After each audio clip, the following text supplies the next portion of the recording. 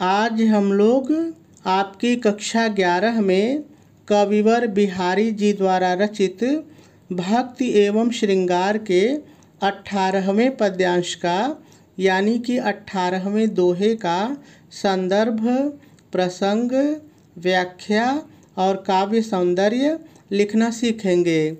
लेकिन सबसे पहले हम लोग हमेशा की तरह इस दोहे में जितने भी शब्द आए हुए हैं, जितने भी शब्द आए हुए हैं, पहले हम लोग इन सभी शब्दों का सरल अर्थ जानेंगे, फिर उसके बाद हम लोग इसकी व्याख्या को सीखेंगे।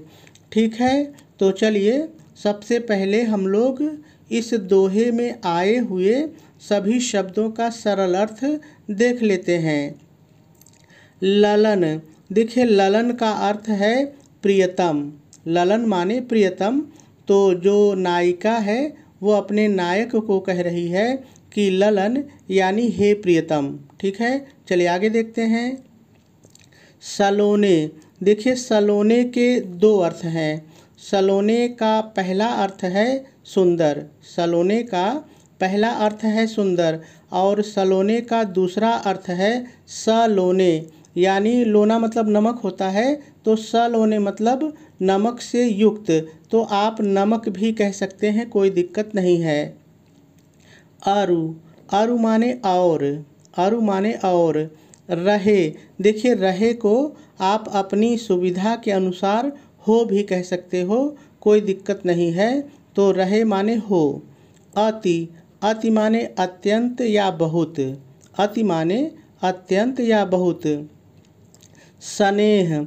स्नेह, देखिए स्नेह सौ एक साथ ले लेते हैं।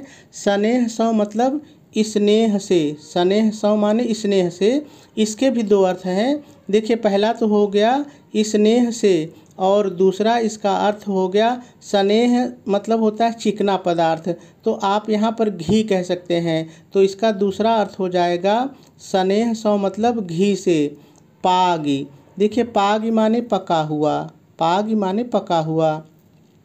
लेकिन इसको एक साथ यदि हम बोलेंगे, स्नेह सौ पाग तो इसका एक अर्थ हो जाएगा स्नेह से पगा हुआ यानी कि आप कह सकते हैं प्रेमी। ठीक है? तो जैसे भी बन पड़ेगा, हम लोग दोनों शब्दों का प्रयोग करके व्याख्या करेंगे। तनक। देखिए, तनक माने तनिक, यानी थोड़ा सा भी, थोड़ा सा भी। कचाई। देखिए, कचाई के दो अर्थ हैं। यहाँ पर सूरन के लिए कचाई का अर्थ है कच्चापन।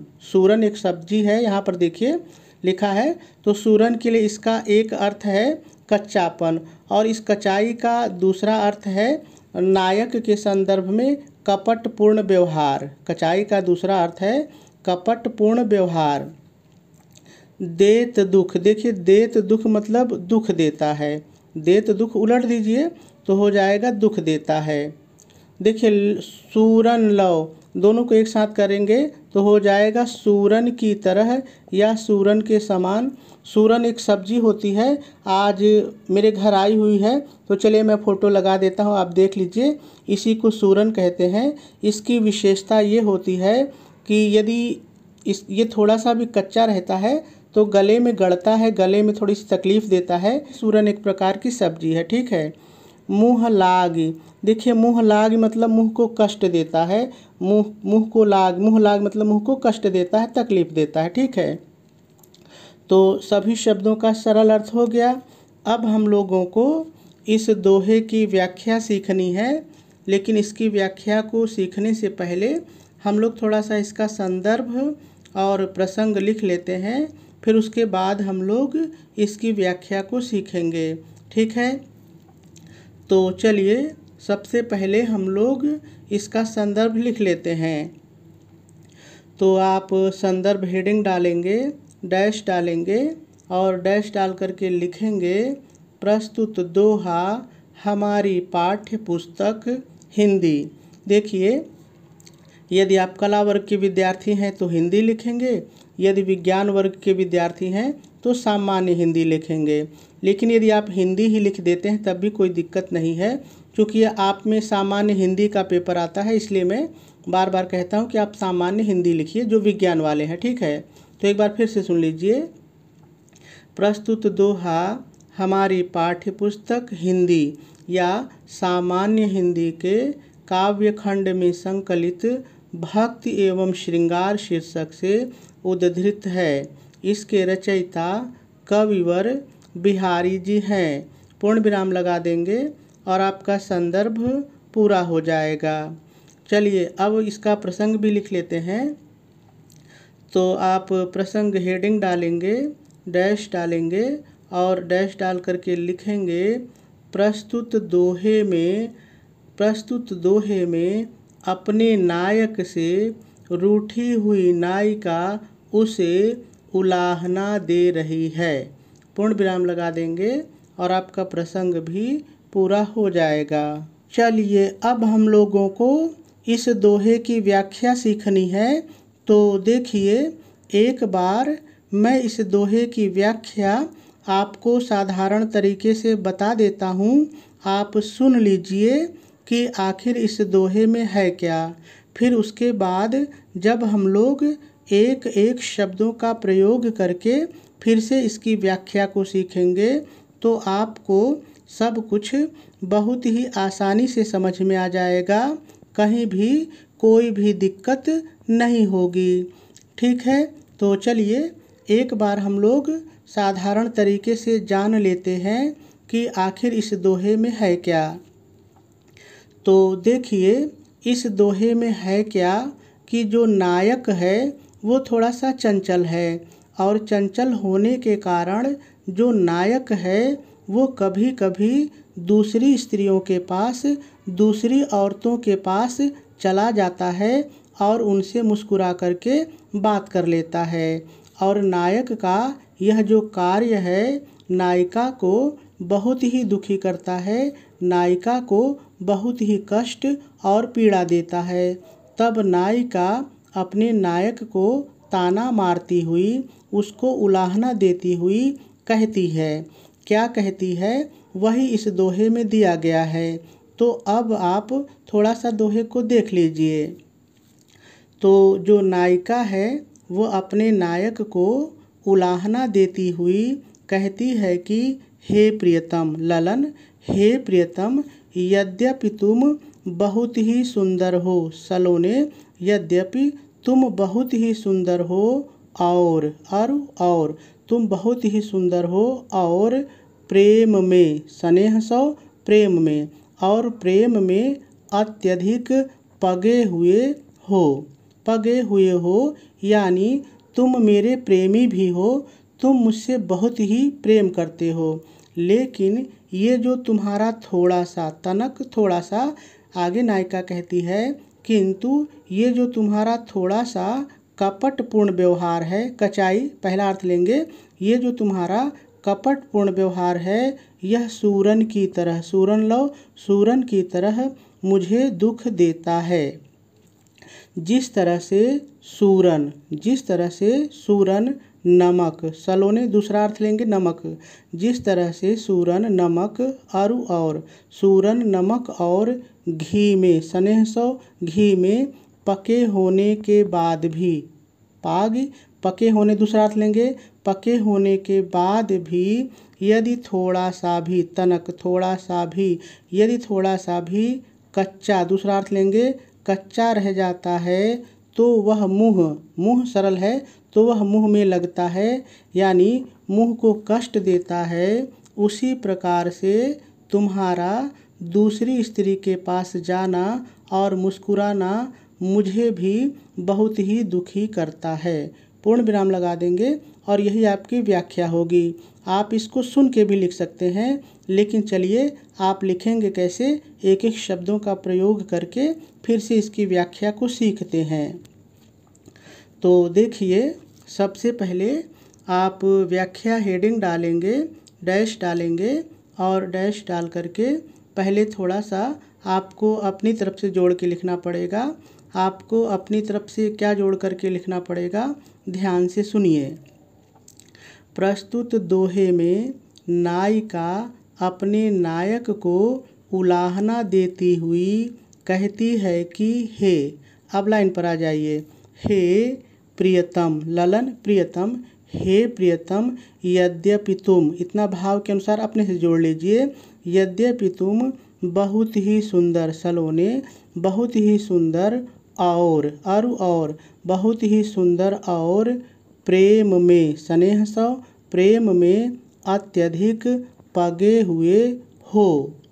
किंतु तुम्हारा थोड़ा सा, तनक थोड़ा सा, किंतु तुम्हारा थोड़ा सा कपटपूर्ण व्यवहार, कचाई कपटपूर्ण व्यवहार, किंतु तुम्हारा थोड़ा सा कपटपूर्ण व्यवहार सूरन की तरह सूरन लो, सूरन की तरह दुख देता है। अर्थात जिस तरह से सूरन नमक और घी में पकाने पर भी यदि थोड़ा सा कच्चा रह जाता है तो वह मुँह को कष्ट देता है, मुँह लाग, मुँह को कष्ट देता है, उसी प्रकार से, थोड़ा और जोड़ के लिखिए, उसी प्रकार से तुम्हारा दूसरी स्त्री के पास जाना और मुस्कुराना मुझे बहुत ही दुखी करता है। पूर्ण विराम लगा देंगे और आपकी व्याख्या पूरी हो जाएगी। चलिए, अब इसी व्याख्या को बिल्कुल फ्लो में तेज़ी से सीखते हैं। तो देखिए, मैंने कहा कि सबसे पहले आप व्याख्या हेडिंग डालेंगे, डैश डालेंगे और डैश डाल करके पहले थोड़ा सा लिखेंगे। क्या लिखेंगे? एक बार फिर से सुन लीजिए। प्रस्तुत दोहे में नायिका अपने नायक को उलाहना देती हुई कहती है कि, हे, अब लाइन पर आ जाइए। हे, प्रियतम, यद्यपि तुम बहुत ही सुंदर और प्रेम में अत्यधिक पगे हुए हो, किंतु तुम्हारा थोड़ा सा कपटपूर्ण व्यवहार मुझे सूरन की तरह दुख देता है। अर्थात जिस तरह से सूरन को नमक और घी में घी में पकाने पर भी यदि वह थोड़ा सा कच्चा रह जाता है तो मुँह को कष्ट देता है, उसी तरह से तुम्हारा दूसरी स्त्री के पास जाना और मुस्कुराना मुझे बहुत ही दुखी करता है। पूर्ण विराम लगा देंगे और आपकी व्याख्या पूरी हो जाएगी। देखिए, जैसे मैंने आपको व्याख्या बताई है, वैसे ही मैंने लिखा भी है तो चलिए मैं आपको पढ़ के भी सुना देता हूँ। तो देखिए, आप व्याख्या हेडिंग डालेंगे डैश डालेंगे और डैश डाल करके पहले थोड़ा सा लिख लेंगे। क्या लिखेंगे देखिए, प्रस्तुत दोहे में नायिका अपने नायक को उलाहना देती हुई कहती है कि, अब यहाँ से व्याख्या है, कहती है कि, हे प्रियतम, यद्यपि तुम सुंदर हो और प्रेम में अत्यधिक पगे हुए हो, अर्थात तुम प्रेमी भी हो किंतु तुम्हारा थोड़ा सा कपटपूर्ण व्यवहार मुझे सूरन की तरह दुख देता है। जिस तरह नमक और घी में पका हुआ सूरन थोड़ा सा भी कच्चा रह जाने पर मुख को कष्ट देता है, उसी तरह।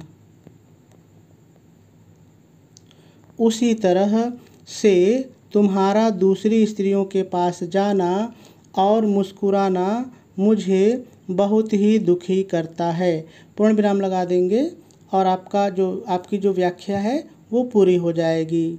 चलिए, अब थोड़ा सा हम लोग काव्य सौंदर्य भी देख लेते हैं। तो यदि रस की बात करें तो श्रृंगार रस है। छंद की बात करें तो दोहा है। यदि अलंकार देखा जाए तो इसमें उपमा, श्लेष और अनुप्रास, ये तीन अलंकार हैं। यदि आप देखना चाहें कहाँ पर है तो चलिए हम लोग पद्यांश पर दोहे पर थोड़ा सा चलते हैं। तो देखिए, यहाँ पर है, आप देखेंगे, स्नेह सव, स और स वर्ण की पुनरावृत्ति है। यहाँ पर देखिए, लालन सलोने के अंत में न और न की पुनरावृत्ति है तो अनुप्रास अलंकार। यहाँ पर नायक की तुलना सूरन से की गई है तो उपमा अलंकार। और यहाँ पर देखिए, सलोने के और कचाई के, स्नेह के, दो दो अर्थ हैं। तो यहाँ पर श्रेष अलंकार भी मिल जाता है। चलिए आगे देखते हैं। यदि हम लोग भाषा की बात करें तो इस दोहे की भाषा ब्रज है, शैली इसकी मुक्तक है, गुण इसमें माधुर्य है और शब्द शक्ति व्यंजना है।